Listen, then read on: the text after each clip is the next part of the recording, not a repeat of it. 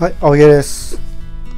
えっと、今日も最初に、えー、バイビットさんとディープコイン取引所の、えー、ちょっとあのー、宣伝をさせてください。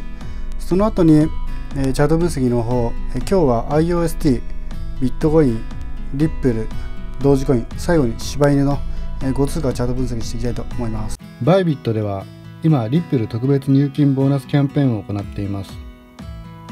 私のリンクからは5月13日から26日までの2週間の間リップルをいくらでもいいので初回入金で3000円ボーナス20万円相当の入金で5000円ボーナス100万円相当の入金で2万円ボーナスが付与されます。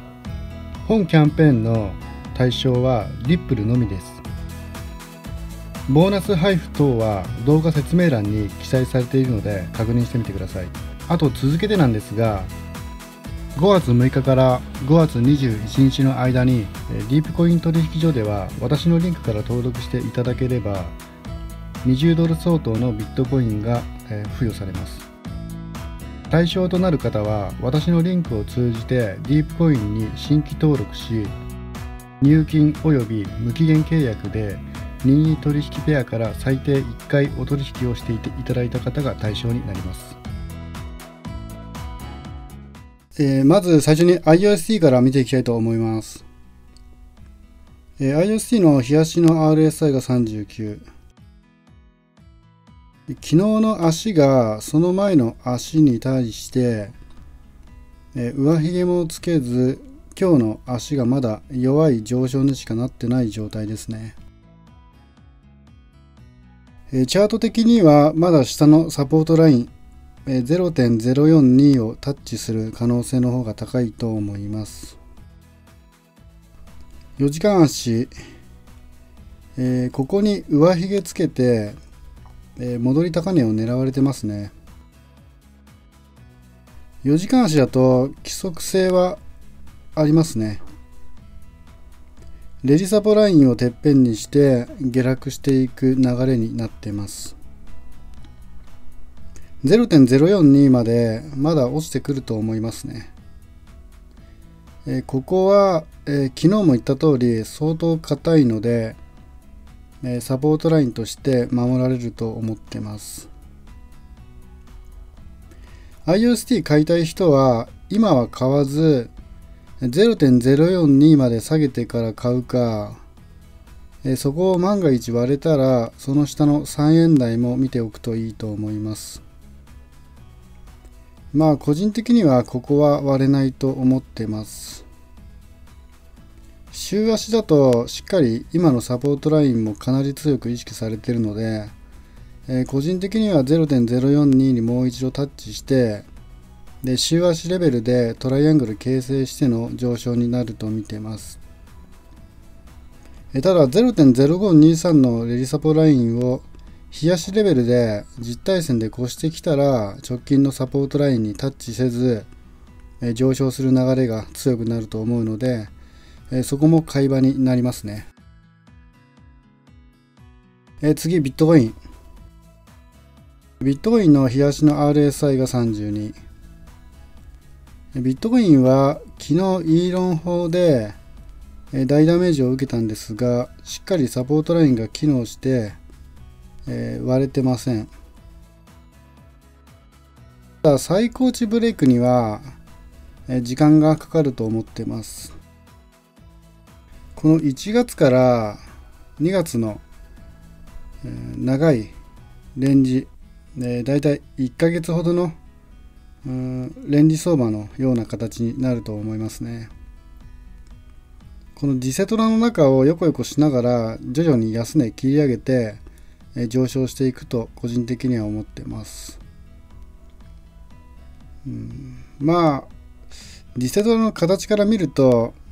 うん、まだ2週間近くは、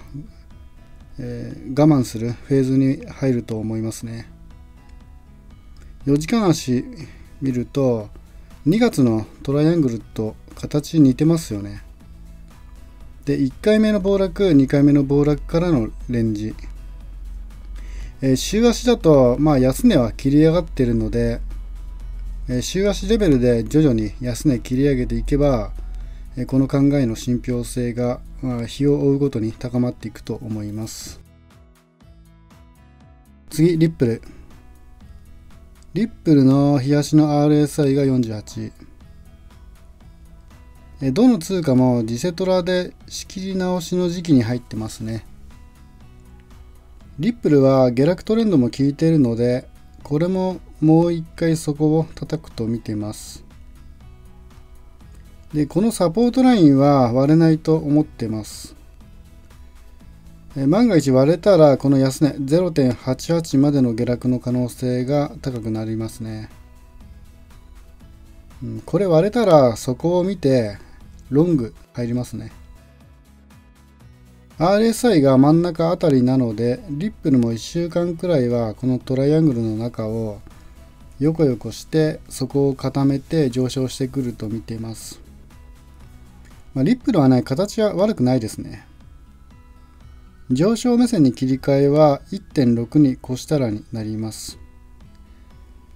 えなので FX はまだしない方がいいですね。底割れの可能性とトライアングルの中での動きになるので現物買いたいならこの直近安値で買うか安値割れを待って0.88で買うかになります。分散させて買った方が、えどちらにも動けるので分散させて買い増しをおすすめします。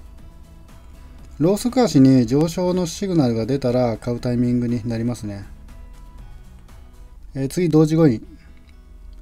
えー、同時コインの冷やしの RSI が58。で今、この7日のレジスタンスラインで上髭つけて抑えられてますね。上昇目線に切り替えは、このレジスタンスラインをしっかり実体線で越してからになります。チャート的には高値戻りを狙われている状況ですね。なので、同時コインはもう一度この0.36まで、えー、個人的には下がると思ってます。4時間足だと少し上なんですが、この4月の高値がサポートとして機能している感じと、2日の陰線安値のとこで止まっているので、もう一回ここで底固めをしてから上昇の方が、えー、リセットの形がはっきりして意識されやすくなるので、うん、まあ一旦はそこを確かめてくると思います。え買いたいなら0.36で買うかこのレジスタンスラインを実体線で越してから買う方がリスク少なくして買いますね。最後、柴犬。えー、柴犬の冷やしの RSI が65。冷やしはちょっとレンジがでかすぎるので、あとちょっと分かりにくいので4時間足で見ていきます。4時間足見ると RSI が48。下落トレンドは効いてて、今この高値がサポートラインになってますね。うん。柴犬はね、個人的にはトライアングルはあまり意識されないと見てます。えー、ただ買いたいならトライアングル上抜けで買うかこのサポートライン割れてからさらにその下の昨日も言ったこの安値で買うかになりますね、えー、ファンダ面だとバイナンスとかディープコイン取引所とかあと他の取引所も柴犬に力入れてきてるので、えー、短期的には下げてもこの安値ラインまでだと思ってます。今回私がチャート分析した仮想通貨は全てバイナンス取引所で取引することができます。レンジブレイクを狙って大きな利益を狙いたい方はディープコイン取引所か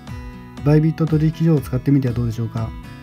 ディープコイン取引所ではディープコインの取引を行うことができます。この2つの取引所は後遺症がないのでトレード資金以上の損失を出すことはありません。なので素人の方にもお勧めできる取引所になっています。